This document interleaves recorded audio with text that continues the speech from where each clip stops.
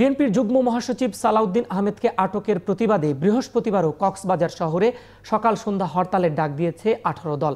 এছাড়া তার নিজের নির্বাচনী এলাকা চকরিয়া পেকুয়ায় অনির্দিষ্টকালের জন্য হরতালের ঘোষণা করা হয়েছে। সোমবার রাতে সালাউদ্দিন আহমেদকে আটকের পরপরই তার গ্রামের বাড়ি চকরিয়া ও পেকুয়ায় আলাদা মিছিল করে শ্যামলী পরিবহন সহ পঁচিশটি গাড়ি ভাঙচুর করা হয়। এছাড়া কক্সবাজার শহরের বাজারঘাটা ও কালুর দোকান এলাকায় বিএনপির বিক্ষোভ মিছিল থেকে গুলি ছুঁড়লে উপপুলিশ পরিদর্শক জাকির হোসেন, কনস্টেবল জাহিদ ও পথচারী অ্যাডভোকেট আবু হায়দার ওসমানী জখম হন। গুরুতর আহত অবস্থায় তাদেরকে কক্সবাজার সদর হাসপাতালে ভর্তি করা হয়েছে।